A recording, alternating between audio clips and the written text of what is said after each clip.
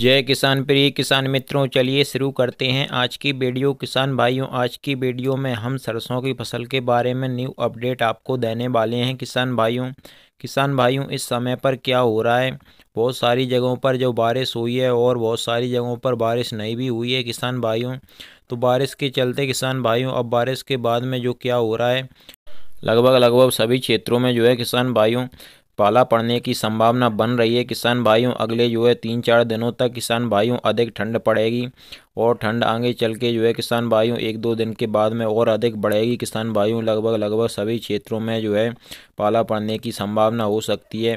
खासकर किसान भाइयों, सरसों की फ़सल में जो है किसान भाइयों, हमारी सभी किसान भाइयों ने अधिक संख्या में जो है सरसों की फ़सल की बुवाई की है। तो किसान भाइयों, ऐसे में हमारी जो है ज़िम्मेदारी है कि हम हमारी सरसों की फ़सल की रक्षा करें, सुरक्षा करें किसान भाइयों।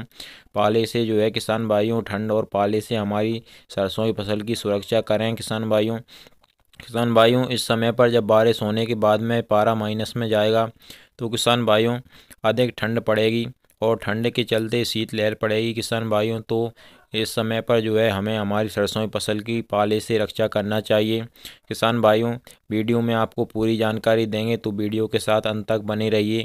और अगर आपने अभी तक हमारे चैनल को सब्सक्राइब नहीं किया है तो आप जल्दी से चैनल को सब्सक्राइब कर लें, क्योंकि इसी तरह की वीडियो सही समय पर, सही जानकारी सभी फ़सलों की हम आप तक पहुँचाते हैं। तो किसान भाइयों, चैनल को सब्सक्राइब ज़रूर करिएगा।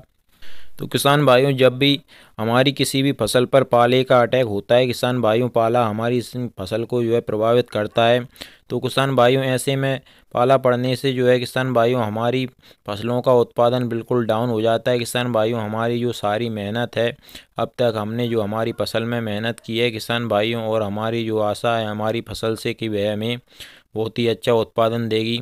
तो किसान भाइयों, वह सारी आशा, हमारी निराशा में बदल जाती है और हमारा सारा उत्पादन जो है डाउन हो जाता है। हमारी फ़सल पूरी तरीके से जो है किसान भाइयों बर्बाद हो जाती है।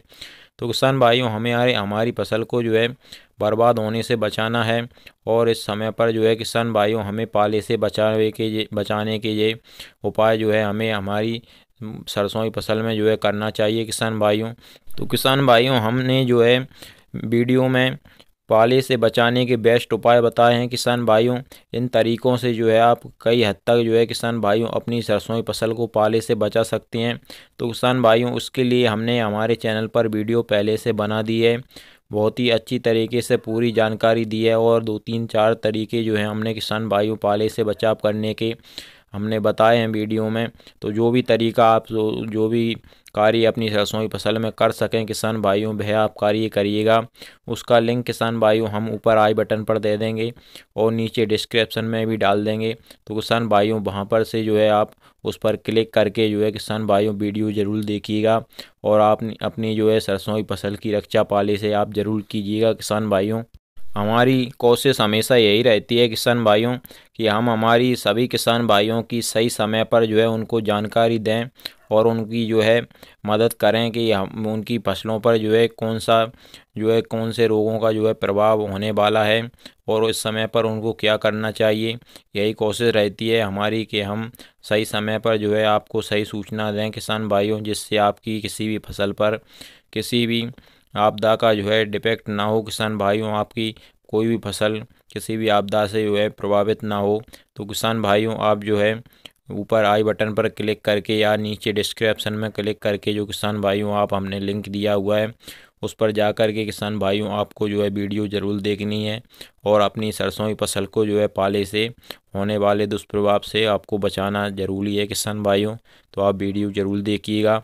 तो यही जानकारी थी किसान भाइयों। अगर आपको जानकारी पसंद आई हो तो वीडियो को लाइक ज़रूर कीजिएगा। और अगर आपने अभी तक हमारे चैनल को सब्सक्राइब नहीं किया है तो आप जल्दी इस चैनल को सब्सक्राइब कर लीजिए। चलिए किसान भाइयों, मिलते हैं अगली वीडियो में। जय किसान, नमस्कार, धन्यवाद।